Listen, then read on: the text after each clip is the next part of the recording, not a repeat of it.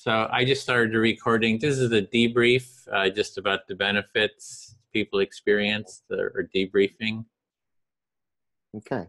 So uh, we'll, we'll, go ahead and uh, would anybody like to start or should I just uh, feel like a teacher again or should I have to pick, call on somebody?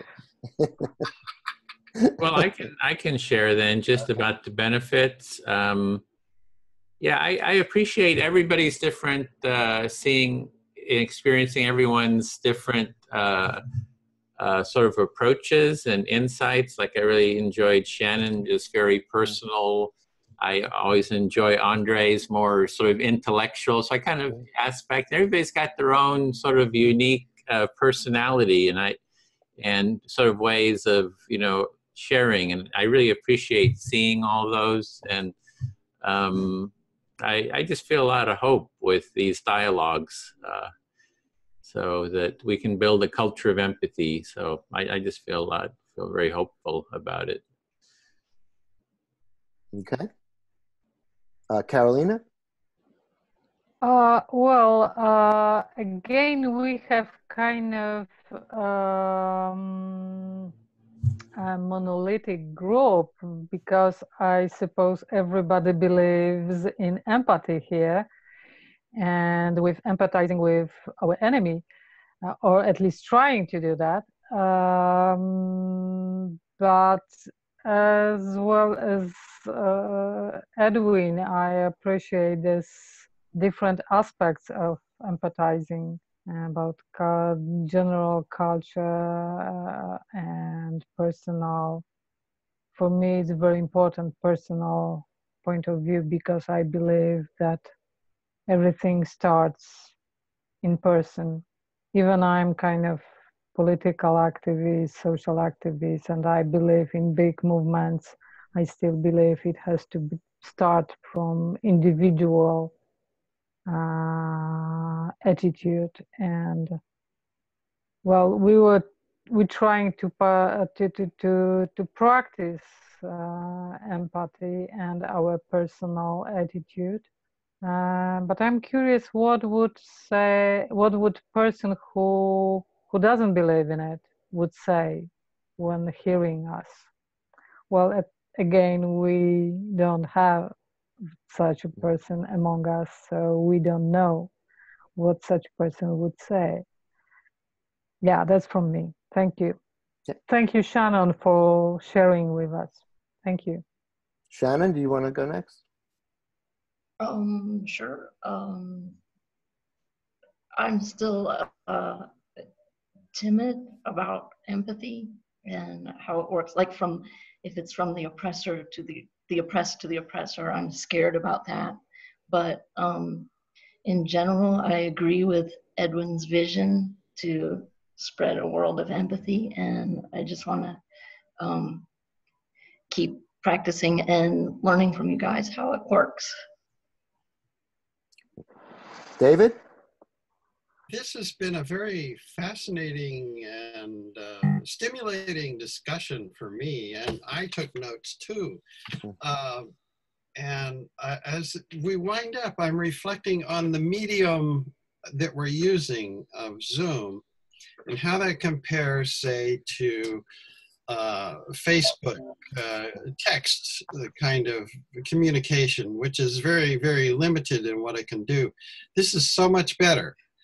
Um, however, there's another way that I recently experienced, which was through Dances of Universal Peace, where we were uh, chanting and there was music and we were holding hands and moving uh, around in circles in a room.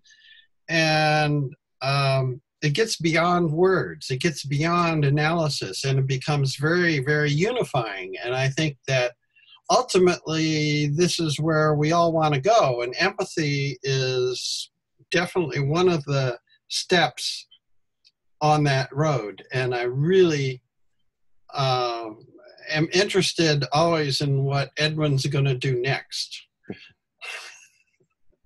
Okay. Yeah andre um, okay, so my experience is um, I am participating probably in the third or fourth uh, circle.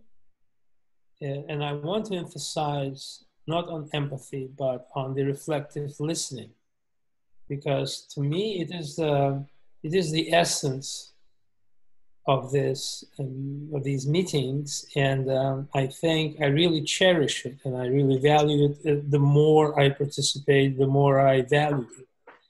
Uh, it's based on my personal uh, inner kind of feeling or sensations that I um, I, fi- I, find this it's very helpful, healthy, and it's it's not it, it, kind of leads to the empathy by by going sometimes through the torture of forcing yourself to listen.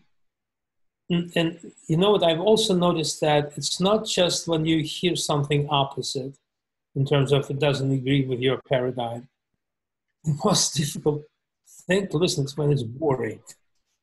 When people talk about something uh, that doesn't really attract you, but but uh, I, I, I found I caught myself that there was a uh, sometimes when it happens there's a, a, strong desire to just to withdraw your attention.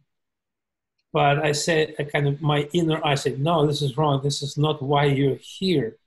You have to force yourself to listen and try to understand uh, wherever the depth is there. If there's a none you still have to listen and understand what are these people trying to say why it is important for them and the fact that it's not of my interest when it doesn't attract me you know um, it, it is an obstacle but i have to fight it. And by doing this, I, I, I think I am I'm improving myself. And as a by, uh, byproduct, empathy is byproduct of that process, in my understanding. Because when you do this to yourself, you melt yourself, you kind of, uh, you know, you, you, do the labor.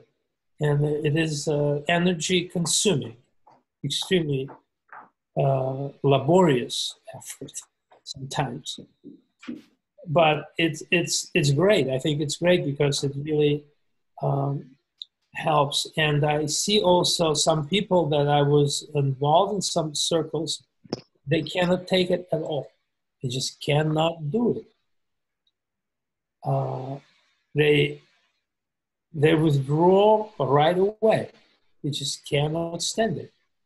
They can uh, ex- express when they given chance to talk their emotional outburst because they want, oh, this is a chance for me to get heard, right? I'm going to tell them all, you know, what it is.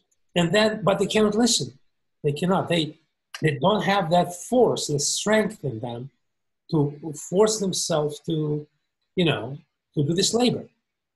So I'm, I'm the more the more I'm participating, the more I'm proponent of that process because I think it's great. So thank you, Edwin. Sure.